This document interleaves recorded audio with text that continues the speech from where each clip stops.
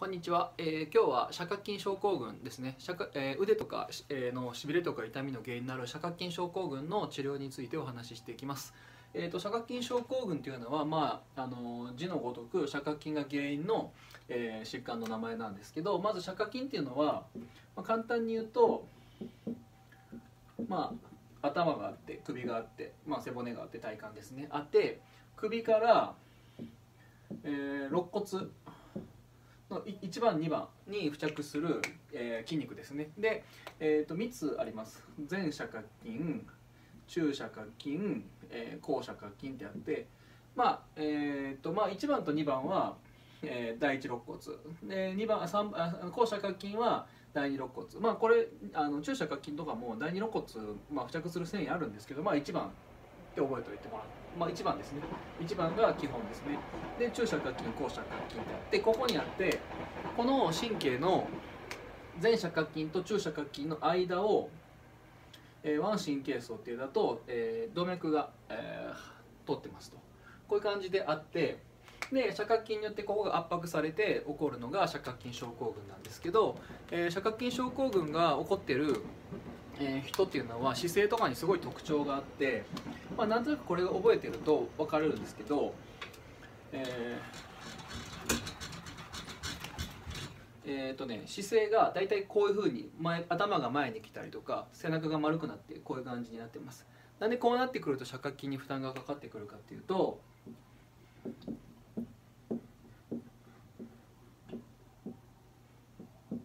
本来であれば、まあ、頭のポジション耳を重心とした場合、まあ、頭を首が支えててあの後ろの首の筋肉が主に支えるっていう感じで支えれてるんですけど、まあ、こう耳が前に来ると重心が前に来ますと。そうすると首の後ろにも前にもすごい負担かかっちゃいます。負担かかっちゃうのであの緊張します。緊張してくるとさっきの斜角筋のところがギュッと締まってきて、えー、腕神経層の症状が出やすくもなるしあ出やすくなります。であのその他にも、えー、とこの、えー例えば斜角筋ってもう首から肋骨についてますけどあのこのマッサージ例えば斜角筋やったとしてもマッサージしてる時って多くの場合、まあ、うつ伏せか、まあ、もしくは上向きで施術してること多いと思うんですけどあの所詮あの施術した時って下に重力かかってるんですよね。今度床面というか。でも起き上がったら丸くなってたらこの負担は取れてないので結局斜角筋症候群の治療をする時は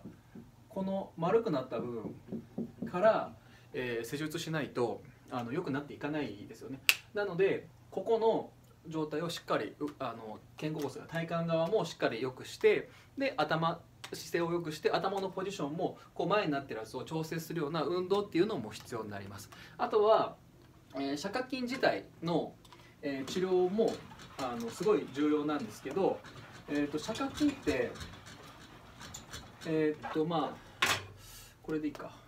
えっ、とまあ前斜角筋中斜角筋後斜角筋とあってえっ、とねうんちょっとこの書き方あのこれ背中が、ま、ああの背中丸くなってる人がすっごい多いんですけどこういう感じで。こういうふうに、えー、とこれ後ろから見た首ですね。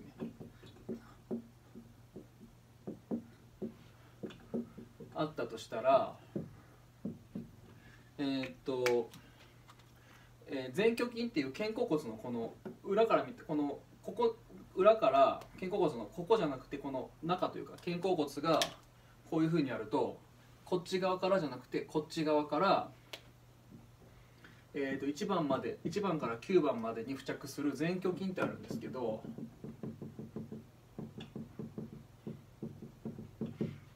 前鋸筋と、えー中斜角筋後斜角筋が、えー連結しているので、えー肩甲骨の、えー施術もしないと、えー斜角筋は柔らかくなってこないし、まあ、ついでに言うと、まあ、前鋸筋はこっちでは、えー肩甲鋸筋とか両頸筋とともくっついているので、えーこの前鋸筋というポイントも、えー斜角筋の施術する時には重要ですし、まあ、逆に言うと肩甲骨の動きが悪いこと悪いことによって起こっている肩の可動域制限だとかも、えー、斜角筋とかそういうのも斜角筋と前鋸筋とかそれも治療する必要があるってことです。お互いに影響し合ってるってことになるのでこういうところの施術は、まあ、セラピスト側の仕事で必要なのでこういうところもしっかり、え、やってますしあとはあのそこから柔らかくしたりするのはえ、セラピスト側の仕事ですけど姿勢を良くするっていうのは患者さんにやってもらうような感じででやってってます。でえー、っとちょっとついでなので時間のまあいいか喋ろうか。あの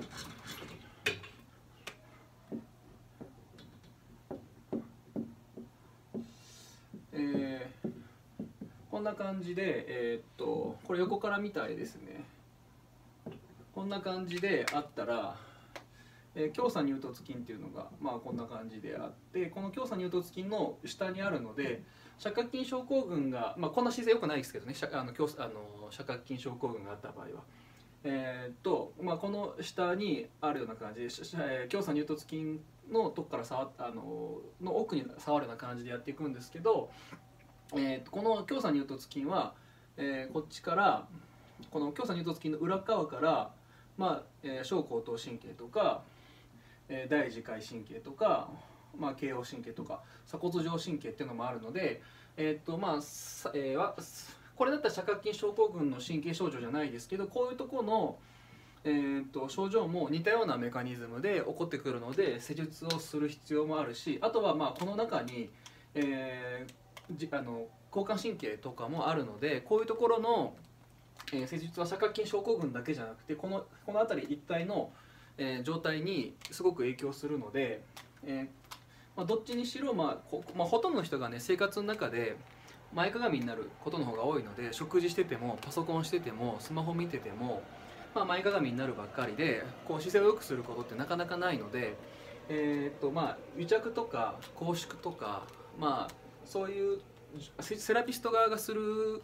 ことはセラピスト側がする必要がありますけどあのそれをやった後に、まあ、そういうのを取った後にあの姿勢を良くする運動っていうのは患者さん側にやってもらって施術していかないと、まあ、こういった症状全般的に良くなっていかないので、まあ、そういう感じで、えー、斜角筋症候群の、えー、ケアをしていってます。まあ、僕は特に、えー、このあまあそうですねあのこう丸くなっていって斜角筋だけじゃなくてあの胸郭出口症候群全体がこうなっていくこと多いので。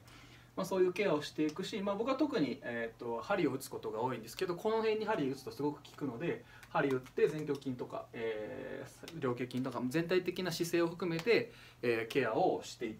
てます。まあ、ちょっと長くなりましたけど、えー、そんな感じで斜角筋症候群の治療をしていってます。最後までご視聴いただいてありがとうございました。